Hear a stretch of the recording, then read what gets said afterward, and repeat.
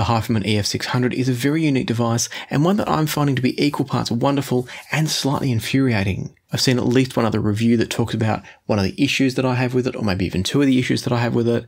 But then there's a couple more that I found along the way, and it just offsets what could actually be one of the nicest sounding devices that I've played with in quite a while.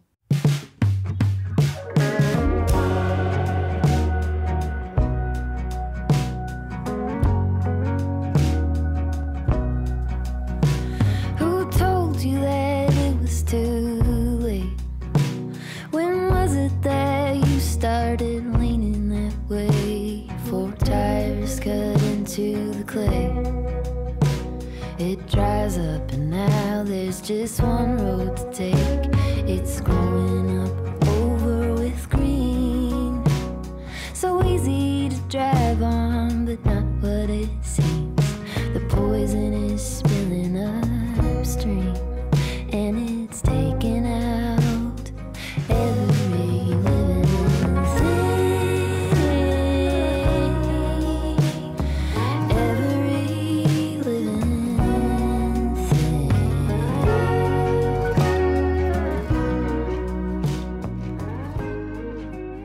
EF600 comes in at 799 US dollars, and it features HiFiMan's own Himalaya Pro R2R DAC chip inside, as well as a built-in headphone amplifier. So it's a fully featured DAC, headphone amp, and it will output to your external speaker amp, other headphone amps, etc. And all of that's packaged up in this pretty unique sort of monolithic design. That brings both some positives and some negatives as we'll talk about in a moment. But before we get to a tour of the device and talk about the design of it, I should mention what's going on internally. I've already mentioned that it's got an internal R2R DAC chip, which I should specify is the Himalaya Pro chip from HiFiMan. And that's really, I think, for me, where the magic lies in this one. Before we get to a tour of the device and talk about the design and the features of it, the one final thing I wanted to mention was that the EF600 can output over 5 watts, just over 5 watts, into a 32 ohm load from its balanced headphone socket. So it's also a very powerful headphone amp in addition to that wonderful R2R DAC chip. And so with that said, on paper, we're looking at something that should be quite good. Let me explain to you now why maybe it's not so much. And we're going to do that by going on a bit of a tour of the device. Starting on the front here, things are nicely designed. I like the layout. I like the general functionality. And that is that we've got the ability to choose between four different modes. This is going through a high gain and a low gain in each case, as well as an oversampling and non-oversampling option in each case. So in other words, you can choose whether the DAC is using oversampling or non-oversampling modes. And then you can choose whether the amplifier is in high gain or low gain mode. And that makes a lot of sense. If you're using this as an all-in-one, it makes sense to have it set up that way in some ways. But having said that, I would have probably preferred two different switches. I would have liked one switch that goes between oversampling and non-oversampling, and another switch that goes between high gain and low gain. As it is though, this is how HiFiMan have done it. I don't mind it so much. It's just a little bit clunky. If you just want to switch between the gain modes, you've sometimes got to cycle through the oversampling modes as well, and vice versa. Next to the gain and sampling mode switch, we've got a different switch here, which is for the input. And this will cycle through your different digital inputs and your different analog inputs too. Nothing groundbreaking, nothing fancy, just nicely implemented. Below that, we've got a volume control, and this is the first issue that I've got with the unit, and that is that the volume control has huge amounts of wobble in it. It feels really, really cheap. I also don't particularly like the square design of it. It doesn't feel nice, even if the motion was better. It doesn't feel nice to interact with because it's so square and blocky. So I do think a round volume knob would have been nice, and way less plain it would have been good too. Moving down below the volume control, everything else is fine. We've got a 4-pin XLR and a 6.3mm socket. Both of those are fine to interact with, although I will say that I do find connecting the 4-pin XLR can be a little bit snug, and it can be a little bit awkward and it sort of wants to push the device across the desk when you're plugging it in and then pull it back when you're unplugging it. And that's really going to come down to the lack of friction because the footprint's quite small and the overall weight of the device as well, which is relatively light for the size and the scale of the device and the sorts of things you're plugging into it. As we continue the tour, let's jump around to the back now and then I'll come back to the sides. Looking at the back of the device and starting at the bottom, we've got our mains power connector and mains power switch. This is the only power switch on the device. So for those of you like me that don't like the power switch on the back, this is one of those devices. There is no way to put the unit into standby from the front panel. We've then got XLR outputs and RCA outputs, so you can take the DAC feed out to external amplifiers. And then above that, as I've already alluded to from the front input switch, we've also got RCA inputs and XLR inputs. So you can just run this as a headphone amp if you want to. Finally, up the top, we've got our little cluster of digital inputs. And what we've got here specifically is a USB-C, a USB-B, a coaxial for SPDIF, and a Bluetooth antenna as well.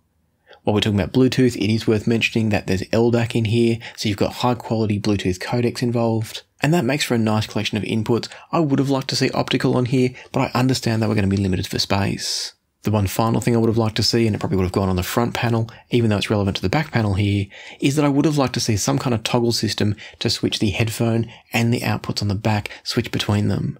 As it is, everything's working all the time. So if you are sending these outputs to an external amp, your headphones are still going to be running, and that may mean you have to unplug your headphones anytime that you're using external speakers. It's a minor thing, but it's something I would have liked to see. The other thing I would have loved to see is a volume control for the outputs, so you could have used them with active speakers. As it is, these are just line level outputs. They're constantly at 2 volts or 4 volts, whatever the output is for each connection. And so it does mean that you're not going to be able to use these with actives unless you've got volume controlled active speakers. So there's a couple of minor drawbacks there, nothing that's a deal breaker, but just a few things that I find a little bit clunky about the design and the interaction with the EF600. As for the vertical design, I don't mind it, I don't particularly love it, but it's not the end of the world. I understand why they've done it this way. It's partly for cooling, it's also to make it into this headphone stand design. And that does bring us around to another point that I've seen brought up in a different review. I think it was Josh Valour. He mentioned the fact that it's kind of nice that because this gets a bit warm, it does warm up your headphones, which is nice in winter, but in summer, not so much. You don't really want to be putting on hot headphones on a hot day, and that's definitely what this is going to do. They're not hot to the point that they're uncomfortable, but if you're already working in a hot environment, living in a hot environment, you're not going to want to put something warm over your ears. So that's a bit of a drawback.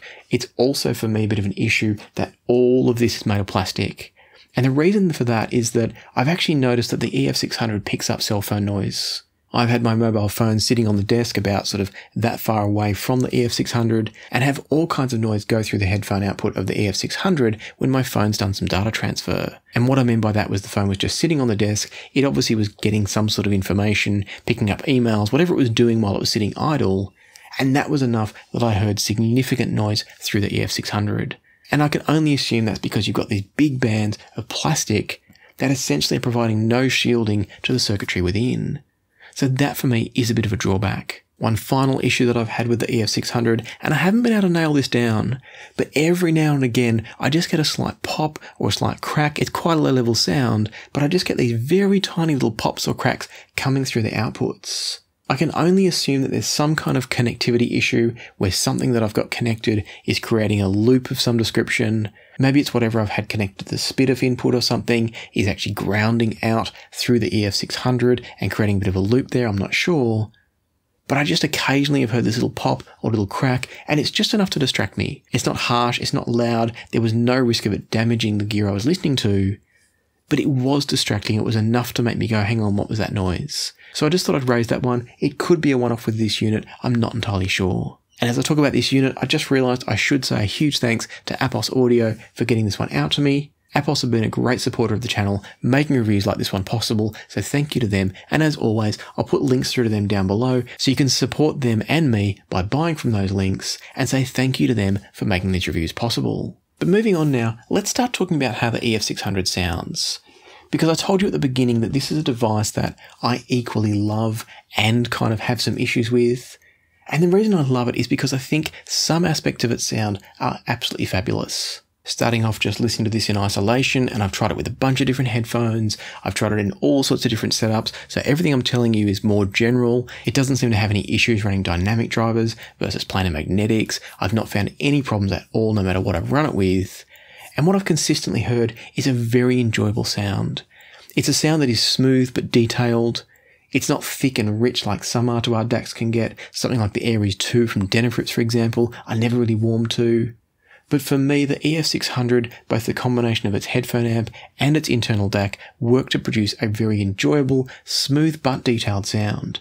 And ultimately, as I spent more and more time with the EF600, I would describe its sound as unremarkable in a very good way. Nothing jumps out from the sound of the EF600, and that makes it easy to enjoy for long periods. Where things get particularly interesting though is when you start playing with the different modes. In its oversampling mode, I feel like the image becomes a bit tighter, a bit more focused. But then when you go across to the NOS mode, things become a bit more lifelike to me. One of the tracks that I listened to during my playing around with the EF600 was enough to make me stop and jump into this document that I use for my notes and actually take down a note, and that was the first rule of love by Del Amitri. Flicking between the oversampling mode and the non-oversampling mode on this particular track, what I really clearly noticed was the guitar sounded so natural in NOS mode. In oversampling mode, as I said, things like the image and the focus of the image got a bit sharper and cleaner, but everything just sounded real in NOS mode. And in that respect, it kind of reminds me a little bit of vinyl. With vinyl, you get a sense of that kind of just easy realism of the music, and that's what the NOS mode of this reminded me of. I'm not saying it's identical to vinyl. My point is they both have a similar quality, which is just there's an ease to it. There's no harshness, there's no glare, there's no enhancement. It's just music flowing out of your speakers or your headphones. And this is true whether it is speakers via the external outputs or whether it's headphones via the internal output or an external headphone amp. And so the good news is that with something like the EF600, those that are seeking detail and focus and imaging, you can switch over to the oversampling mode and get that. It's not going to quite be the same as a full-on high detail Delta Sigma DAC, but it's going to get pretty close. At the same time though, you can switch it into the NOS mode and get that wonderful, natural, easy to listen to sound. For my listening, I initially thought I preferred this in oversampling mode, but as time went on, it was the NOS mode that I kept coming back to over and over again. And then the other good news is that if you want to use something like HQ Player, you can then do that and feed it into the EF600 using NOS mode and get the benefits of those external filters. While we're talking about comparisons of different features and functions of the EF600, let's talk about the RCA versus the XLR. And the good news is that when I ran this out to an external headphone amp, the RCA and the XLR outputs are both almost identical. I think the RCA outputs might be just ever so slightly smoother, but the reason I'm saying I think they might be is that because you've got different voltage outputs on XLR and RCA, by the time you do the volume matching, I couldn't clearly say that one was different to the other. I think the RCA was just a little bit smoother, a little bit less separated, maybe a little bit less textured, but we're talking about a 1 or 2% shift. It was close enough that, as I said, by the time I did volume matching, I'm not confident in that at all. And that's good news. That means that you can use this to two different amplifiers if you want to.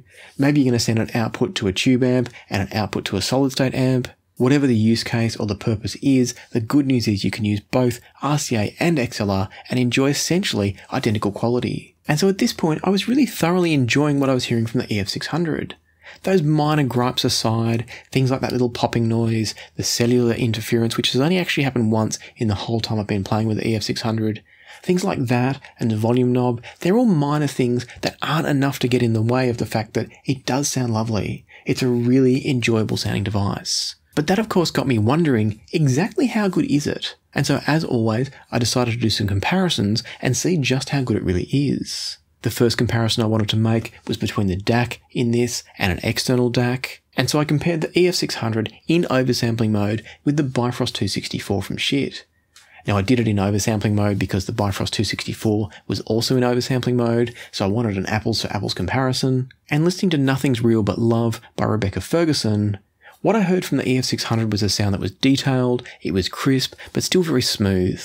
There's a richness and a solidness to the sound from the EF600 that I really enjoy, but as I said before, it doesn't get into smoothness or thickness at all, and that's great moving over to the Bifrost 264, and I do feel like it was giving a better sense of space in the sound.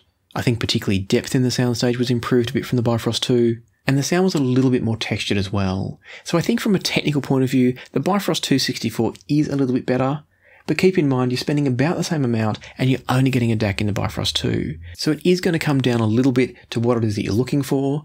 I think if you're looking for technical prowess, the Bifrost 264 is probably the one that I would choose.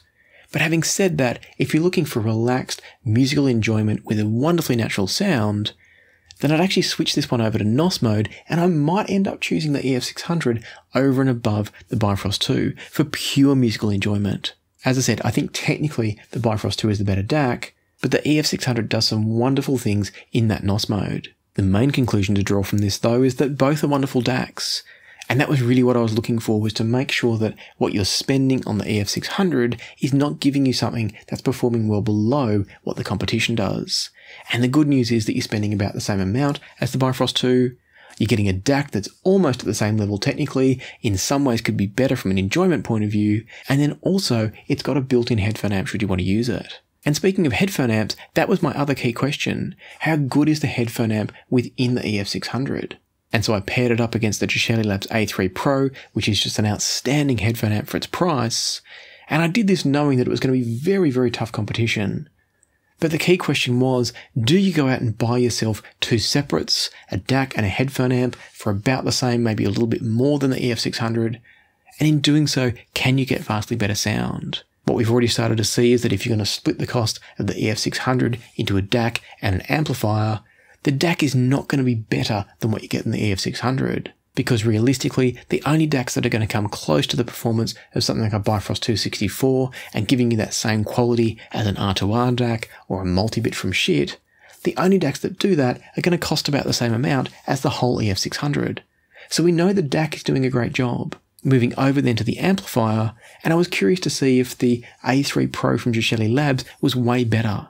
We're spending about 500 odd US dollars on an A3 Pro, so it's already above half the price of the EF600. And listening to Shorty Don't Wait by Great Big World, what I heard was an amplifier in the EF600 that's pretty solid.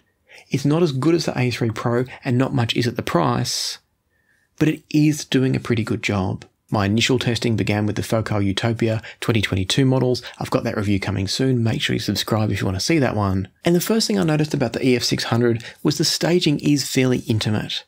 It's not a big, vast soundstage. It does put you fairly close to the music, but it doesn't feel congested or too much in your face. It's just a slightly intimate sounding presentation. The clarity and the tonality of the sound are both excellent from the EF600, and sounds like the bass drum have a good sense of punch but are well controlled by the amp and the DAC combined.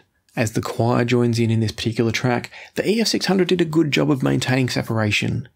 I felt like I could clearly and easily hear where the main vocalist was, where the instruments were, where the choir was.